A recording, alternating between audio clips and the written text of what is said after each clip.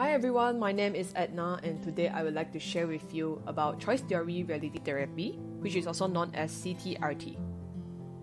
The founder of CTRT is William Glasser, so this is one of his famous saying the heart of reality therapy is what you choose to do in a relationship, not what others choose to do. And according to Glasser, you are responsible for your choice. The choice theory basic concept emphasis on responsibility, rejection of transference, keeping the therapy in present, and avoid focusing on the symptoms.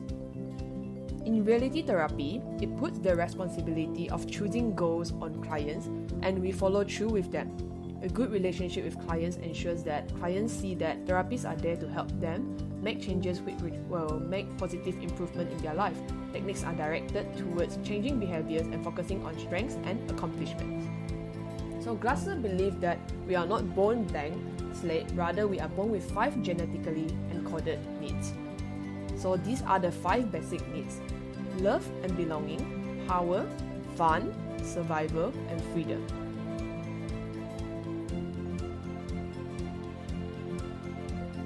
When these needs are not met, psychological problems result.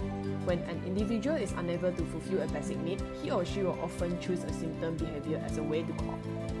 So Glasser also introduced quality world. Do you know what is in your quality world?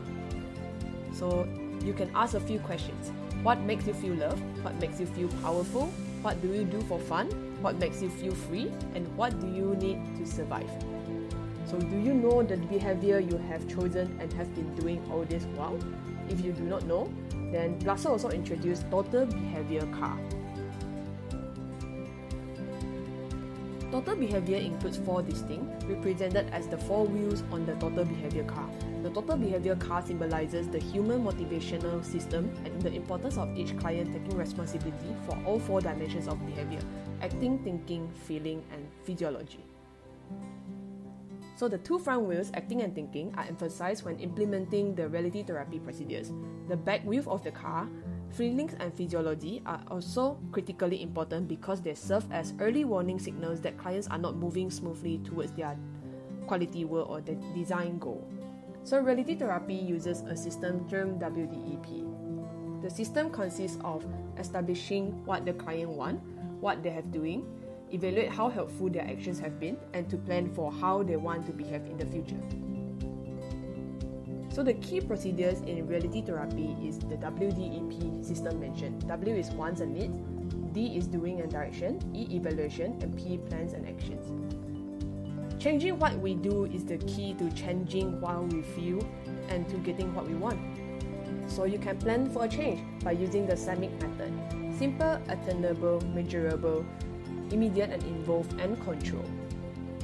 So stages in reality therapy First, you start with build a good relationship, examine the current behavior, evaluate behavior helpful or not, brainstorm alternative, commit to new plan, evaluate result, no punish or excuses, accept logical and natural consequences, and don't get discouraged. So Glasser also introduced the habits we can do. First is the seven deadly habits. So the seven deadly habits include criticizing, blaming, complaining, nagging, threatening, punishing, bribing, or reward of control. However, Glasser changed the terms to the seven caring habits. The seven caring habits include supporting, encouraging, listening, accepting, trusting, respecting, and negotiating differences. People use the seven deadly habits because they want to take control of situation. Why? It is faster than using the seven caring habit, but using the seven deadly habit will diminish the relationship. So, what is your choice?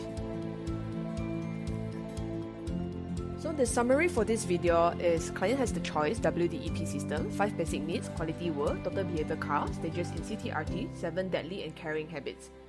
So thank you for watching and have fun learning.